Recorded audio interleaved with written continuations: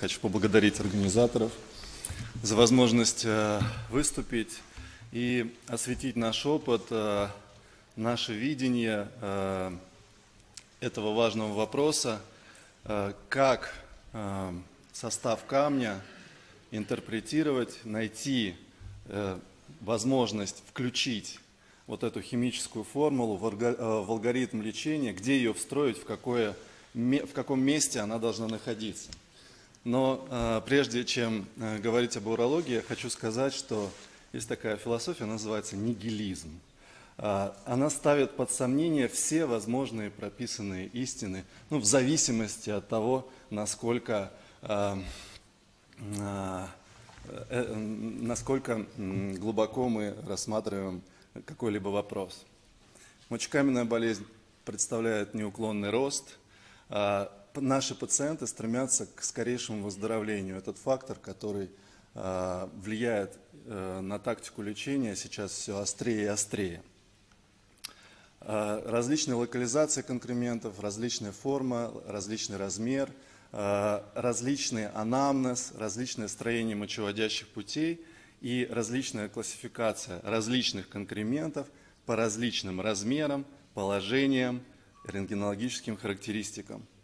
И стоит ли нам э, прямо на входе, прямо в прямом э, э, диалоге с пациентом сразу спрашивать его, может быть, первый вопрос, не где у вас камень, не что у вас болит, а какой у вас камень.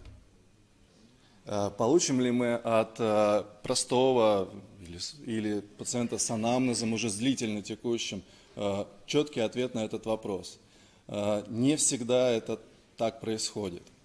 В алгоритмах э, четко прописаны э, отношения, да, э, те рекомендации, от которых мы будем выбирать тактику лечения пациента. И определение химического состава имеет важнейшее значение.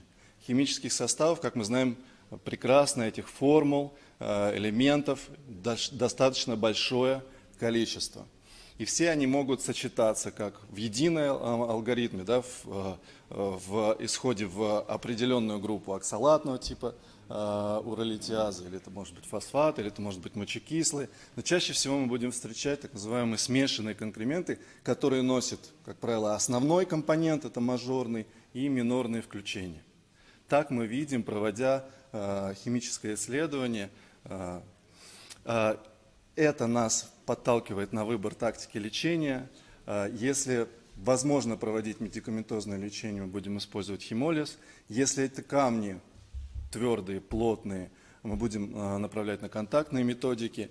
Если это большие или другие плотные, а, будут также контактные методики. Остальное место остается для дистанционной литотрепсии, опять-таки в зависимости от размера положения и даже включая э, алгоритмы проведения дистанционной литотрепсии, мы также имеем э, возможность предсказать э, пациенту исход э, дробления, предположить э, его положительный результат. Что, не та, что крайне важно, потому что пациент, как мы говорили, стремится как можно быстрее э, получить эффективное лечение.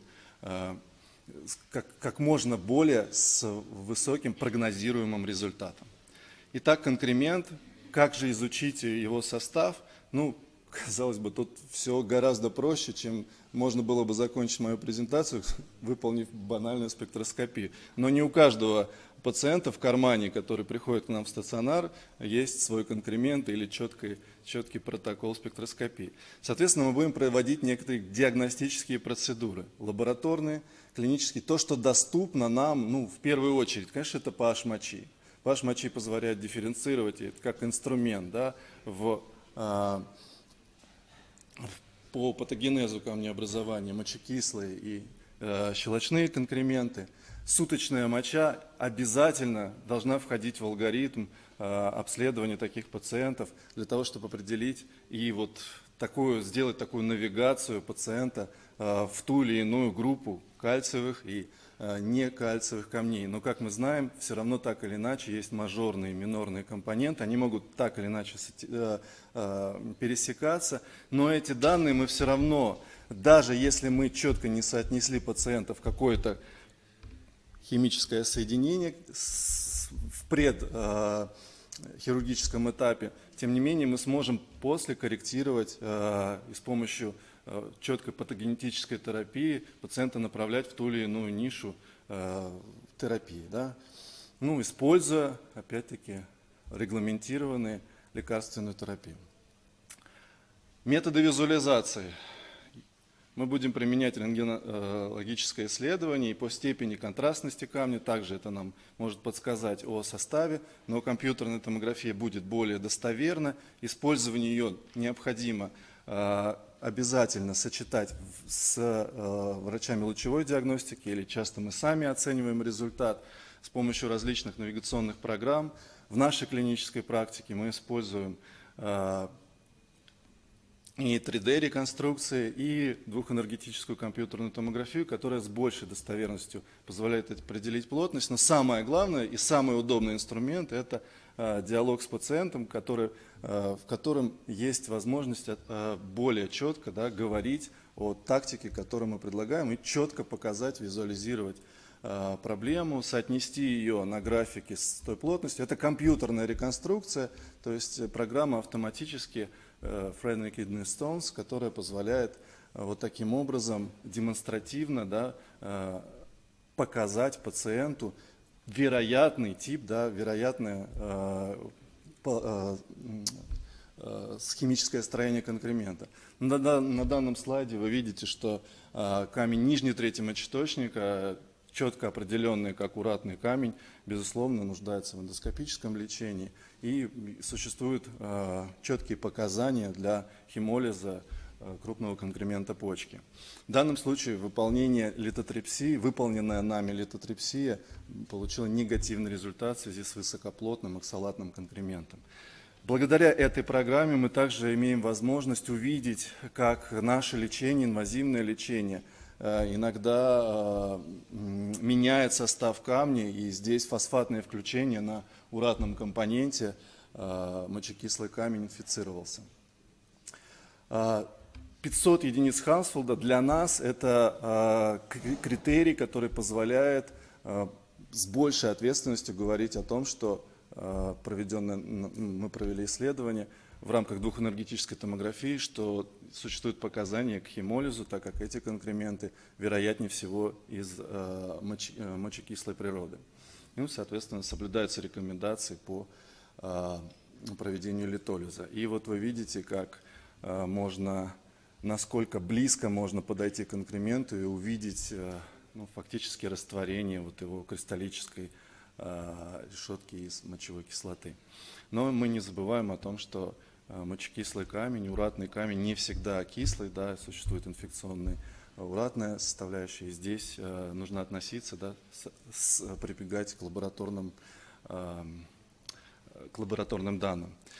Э, и принимая во вс, в весь этот алгоритм, и лабораторный, и э, диагностический, э, рентгенологический алгоритм, э, приводя пациента э, к возможному типу камнеобразования или подтверждая камень, а, мы сталкиваемся все с проблемой комплаентности пациента, насколько ему нужно знать этот состав, насколько важно а, для него это имеет значение.